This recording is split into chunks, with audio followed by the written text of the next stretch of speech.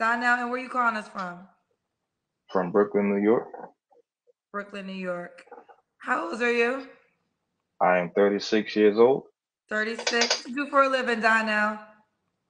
I work for a fine arts um, company in uh, Greenpoint, Brooklyn. Fine arts. And what's your zodiac sign? Aries. Aries. Do you have any children? I have five.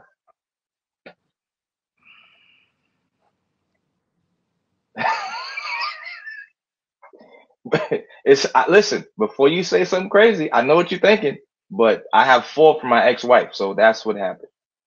We were What together for I'm seven and a half.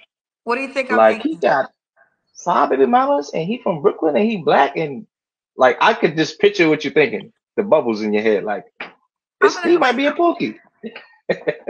How old are your kids? My oldest is 15.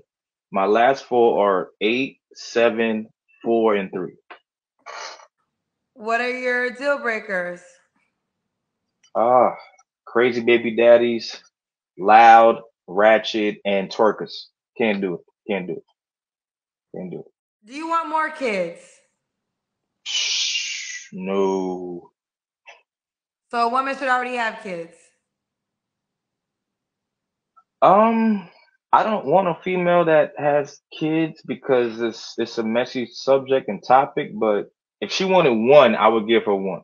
Just to be fair, like You to her, don't so want a she female that got kids and you got five kids.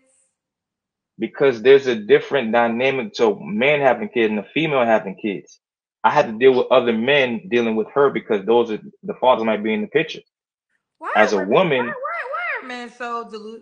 Now this is this is a delusional moment for men. Okay, you Mhm. have five kids 15, Mhm. 8, 7, 4, and 3.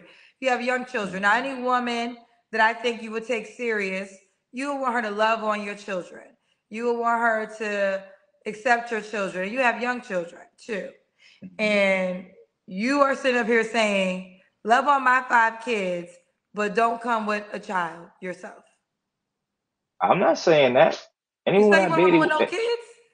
yes, but anyone I date won't even meet my kids because I know what that oh, So brings. you don't want you don't want to get married again then. No, I want to get married again, but so I don't get want. married again, the woman has to accept your kids.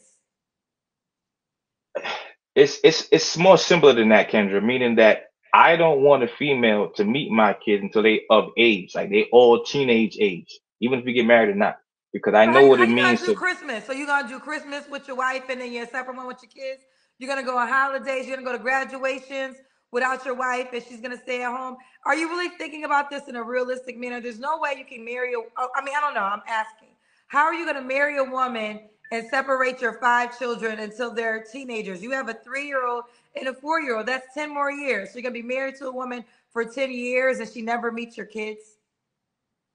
because out of respect, I would explain to her that I don't want my kids to meet you and fall in love with you as a stepmom, and we break up and my kids are heartbroken. I think you're not being realistic on the type of woman you say you want and how she would have to adjust for you and your children. And then you're not being realistic of how you can be a husband to this woman, but then keep your kids truly separated. Doesn't make sense. It, it does make sense because I, that, you have to think about this, right?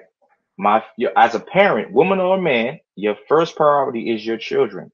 The person that Baby, loves you, respects baby, you enough. I get all that, but when you become a husband, your wife is supposed to become first. And this is where everything is uh, unaligned because when you already have children, rightfully so, your children are most important to you. But when you become a husband, your wife is supposed to trump everything. So you are just not being realistic about the type of woman you say you want and then how you want her to act as your wife.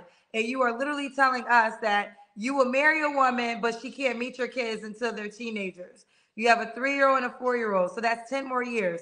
You need to really think about that in a realistic manner. How the hell could you marry someone two years from now and literally keep your kids separated from this woman for eight years?